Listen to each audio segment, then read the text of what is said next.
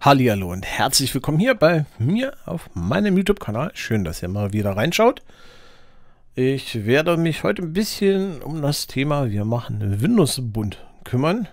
Ich habe zwar aktuell eine RGB-LED-Tastatur vor meiner Nase mechanischer Art. Das hört man, wenn ich tippe. Aber das, was heute hier Thema sein soll, ist, dass das Windows selbst ein bisschen bunter gestaltet werden soll, passend zum Wetter. Wir haben ja Sommerwetter. Aktuell habe ich hier in der Wohnung noch 30 Grad. Wir haben heute den 14.8. Und ihr seht, das ist also jetzt top aktuell das Video. Und ihr seht auch, ich habe doch eigentlich einen relativ düsteren Hintergrund hier ausgewählt, der aber mir sehr gut gefallen hat. Das war das Thema mal Ninja Cat. Wie gesagt, gab es zum einjährigen Jubiläum von Windows 10. Und wir machen es gleich alles mal ein bisschen bunter und ich zeige euch, wo bekommt man es her, wie stellt man es ein, was kann man überhaupt ändern. Mehr danach seht ihr gleich nach dem Intro.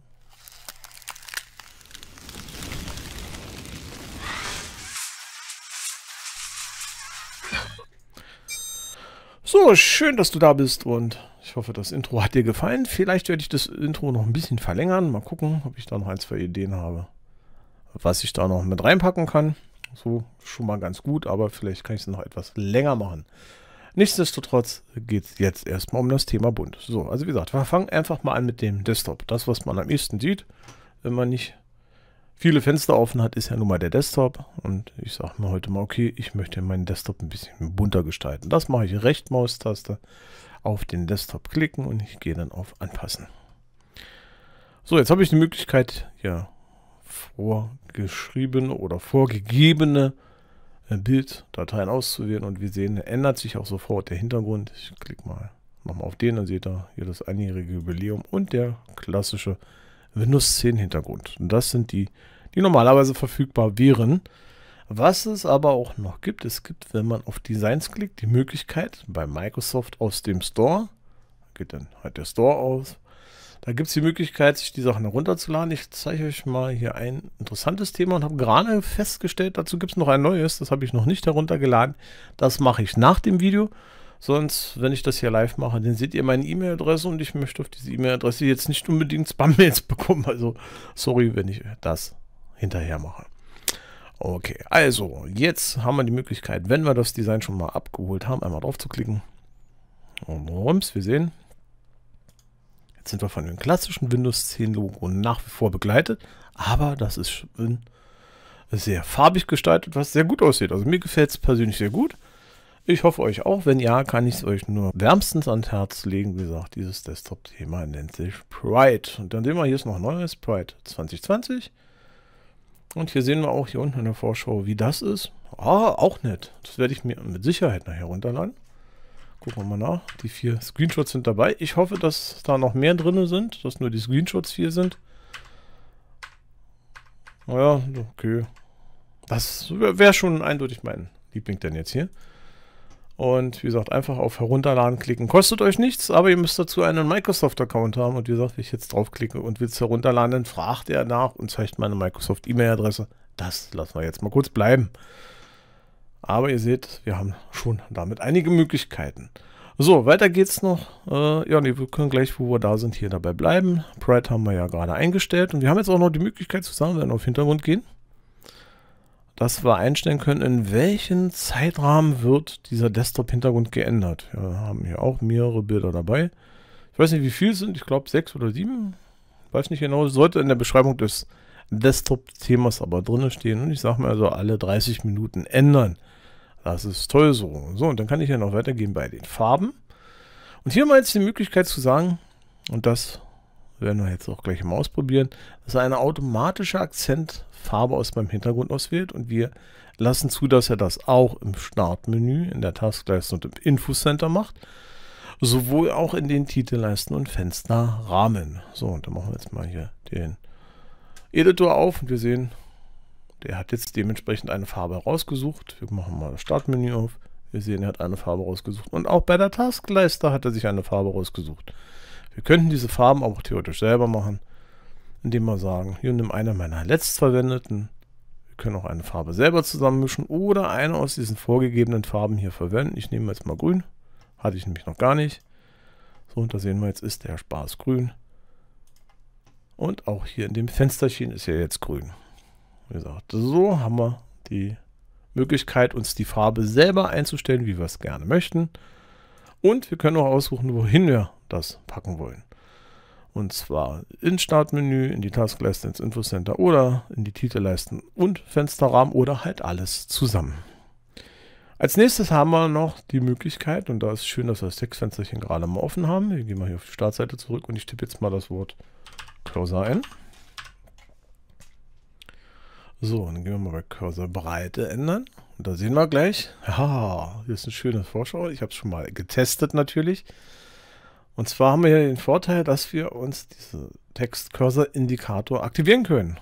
Und das ist fantastisch. So, wenn ich jetzt irgendwo reinklicke, ich sehe sofort, wo mein Cursor steht, weil ich hier in dem Text als einziges, wo ein Farbkleckser ist, ist der Teil, an dem mein Cursor dran hängt. Ich könnte jetzt noch die Cursorbreite selbst auch noch ändern. Könnte sagen, hier mach die mal dicker, mach mal 4.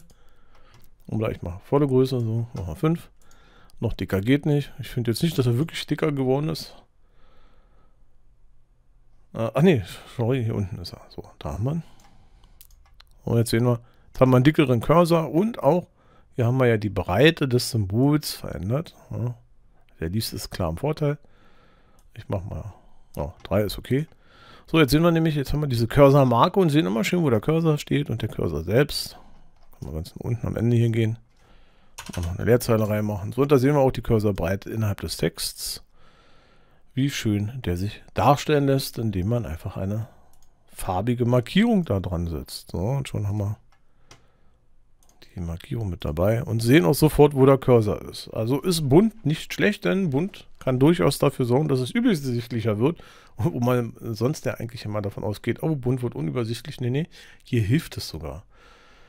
Und wo wir schon gerade dabei sind, bleiben wir mal gleich in die Einstellungen dran. Ich gehe aber wieder zurück auf die Startseite und dann gebe ich noch die Möglichkeit der Mauszeiger Einstellung mit dazu. Und hier sehen wir, aktuell haben wir jetzt einen weißen Mauszeiger. Bis dato habe ich immer sehr gerne genommen den Mauszeiger, der immer die Hintergrundfarbe nimmt. Ich schiebe das mal hier ein bisschen beiseite, dann seht ihr gleich, ja, wenn ich auf verschiedene Farben gehe, ändert sich der Mauszeiger immer dementsprechend in die Gegenfarbe. So ist er relativ gut zu sehen. Was aber auch hier neu ist, wir haben die Möglichkeit, uns Mauszeigerfarben rauszusuchen. Die können wir auch selber bestimmen, wie wir es haben möchten. Hier können wir uns dann die Farbe selber zurechtmischen, wie intensiv wir sie haben wollen, welche Farbe wir haben wollen. Ja.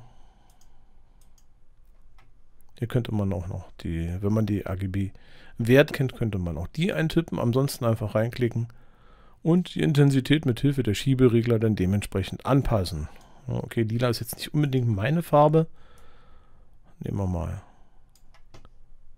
ein bisschen helleres Blau, alles klar. So, und sagen fertig. So, und wir sehen, jetzt habe ich einen blauen Mauszeiger, den wir dann an, an der Farbe erkennen. Und wir können ihn auch nochmal an der Größe verändern. Auch ein schönes Beispiel ist hier dann auch nochmal, wenn ich in meinen Discord reingehe, dass ich die Mauszeigergröße so angepasst habe, dass ich mein komplettes Logo damit verdecken kann. So finde ich immer meinen Cursor auf Anhieb wieder, muss nicht suchen, da ich hier zwei Monitore habe. Verdoppelt sich natürlich auch die Fläche, auf der ich suchen muss. Äh, Leute, die ein 3-Monitor-Setup haben, die haben dann schon das Problem, den Mauszeiger zu finden auf drei Fenstern, die dementsprechend vielleicht auch noch mehrere Sachen zeitgleich offen haben. Da sucht man echt seinen Mauszeiger und das macht es hier sehr, sehr, sehr viel einfacher und passt halt auch aktuell ein bisschen zum Sommerthema. Ja, und das war eigentlich auch das, was ich euch heute zeigen wollte. Ich wollte euch zeigen, wie man den Desktop ändert. Äh, wollte euch zeigen, wie man den Mauszeiger ändert, wie man den Cursor ändert. Dann gehen wir nochmal auf die Designs. Dann gehen wir nochmal auf weitere Designs aus dem Microsoft Store abrufen. Und dann haben wir hier die Möglichkeit, das Thema, was ich hier gerade offen hatte, das ist das Pride 2019. Ich habe gerade gesehen, es gibt ein neues Thema Pride. Also suchen wir mal. Und da gibt es ein ganz neues mit Pride 2020 Flex. Auch das werde ich mir mit Sicherheit herunterladen. Es ist kostenlos und können auch mal in der Vorschau gucken, was da für Bilder mit dabei sind. Hier haben wir ein paar Bilder in der Vorschau drin, es sind nur vier Stück, aber immerhin. Wenn man jede halbe Stunde die ändert, hat man immer schön Hintergrund, der optisch ansprechend ist. Ist natürlich im Auge des Betrachters, was man toll findet oder nicht. Ihr seht auch, ich habe auch sehr dunkle Themen hier. Zum Beispiel Light and Darkness. Oder Dark Skies. Die habt ihr mit Sicherheit schon bei mir in mehreren meiner Videos gesehen. Ja, aber nichtsdestotrotz, aktuell bin ich auf frisch, fröhlich, farbig. Und das war auch genau das, was ich euch zeigen wollte. Ich hoffe, euch hat es gefallen. Wenn ja, lasst gerne ein Like und ein Abo da. Ein Kommentar wäre auch ganz schön, wie euch sowas gefällt, ob ihr mehr davon wollt. Wie gesagt, gerne ab in die Kommentare. Vielleicht sehen wir uns demnächst wieder hier bei mir auf dem Kanal. Bis dahin bin ich erstmal raus und sage Tschüss.